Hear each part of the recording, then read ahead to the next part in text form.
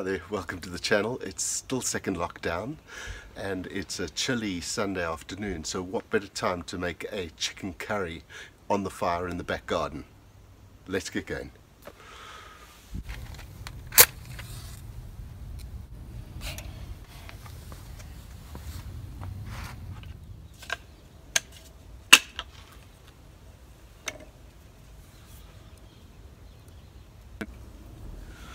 So while that's burning nicely in the background, uh, let's have a look what I've got here. I've got some utensils, I've got a Dutch oven, mine is a Petromax FT3, and I've got some ingredients. So I won't go through everything separately because I'll put it down in the recipe below. So just check out the description for that. And I'm going to rather show you what and how I put it together. So let's start with the onions. You also see in the background I've got a little homemade tripod from Three Broomsticks and we'll use that and a little chain to hang that Dutch oven up on.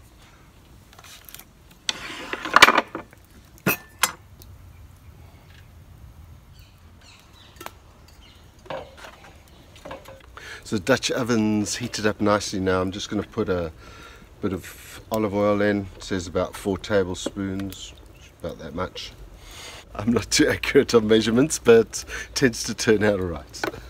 Two teaspoons cumin seeds, so which is normally about that much. And what we're looking to get is a nice nutty aroma from that before we throw the onions in.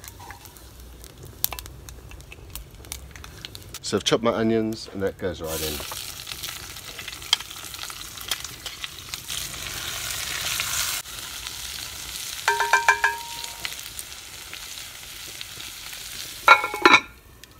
Just let that sizzle for a while. This one I made out of sycamore. My wife's favourite. And this one, my brother-in-law was cutting down his apple tree. Apple wood is actually really good. It works, been, I've had it for years now. Working really well. I'm going to be using skinless, boneless uh, chicken thighs.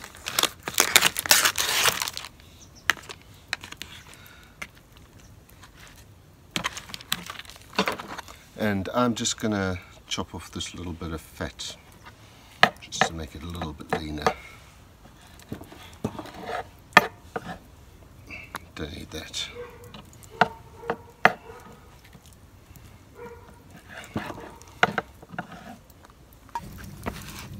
Just need to check those onions to make sure they're softening off a bit. Oh, they look nice.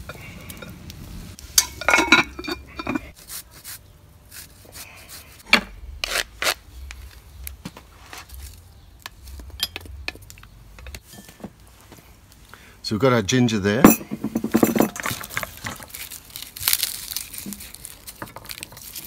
Some garlic.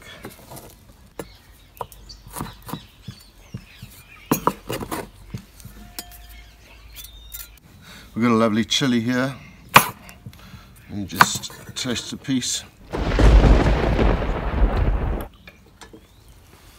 So that's looking nice and browned. Get that in. Chilies, garlic and ginger.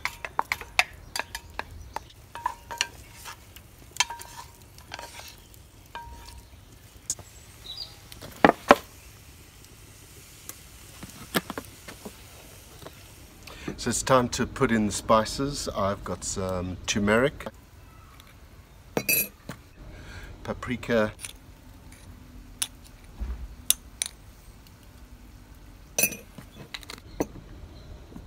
and garam masala.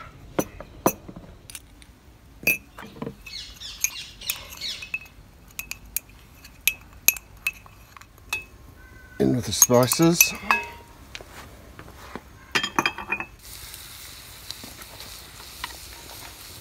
Those are mixing really nicely. I think we can pop that chicken in.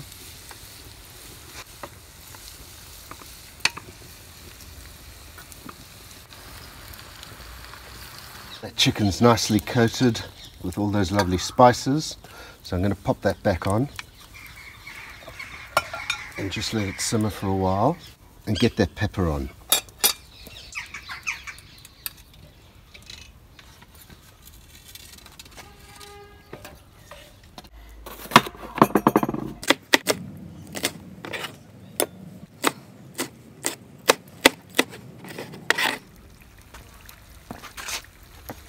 So that's looking really good. Uh, let's get the peppers inside.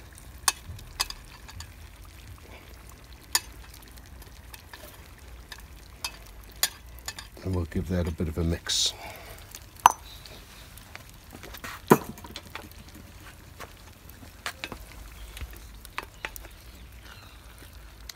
while we're at it, we better get some more wood on the go.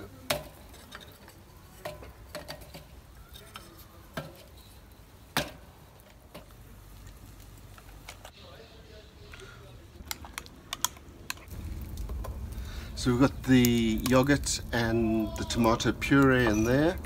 That can go in.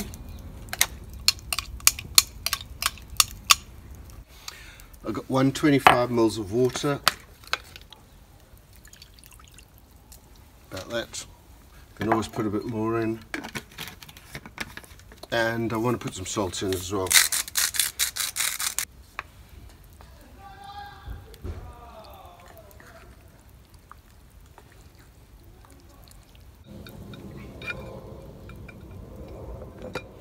And that's about all. So we're going to put that back on the fire for half an hour let it simmer and give it a few turns around and we'll see how it goes from there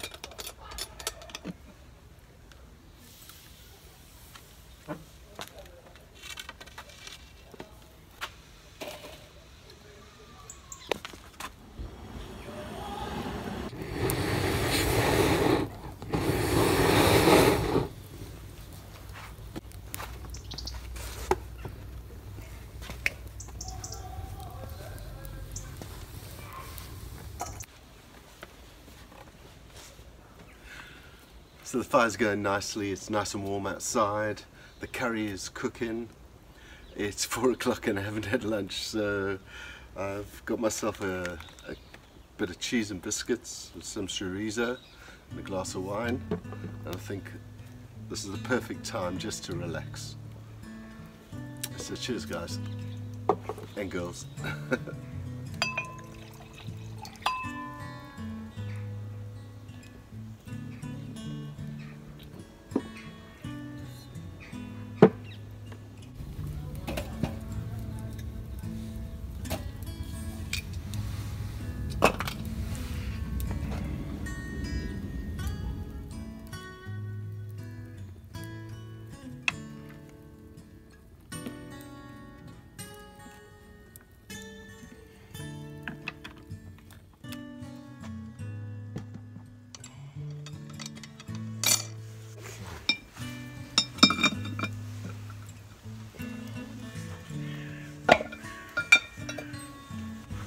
So that looks really fab. Oh, looks really great. What I'm going to do is take out these chili skins. So there's one of them. Should be four in there. There's another one. This is going to be for dinner later but I do want to give it a taste now.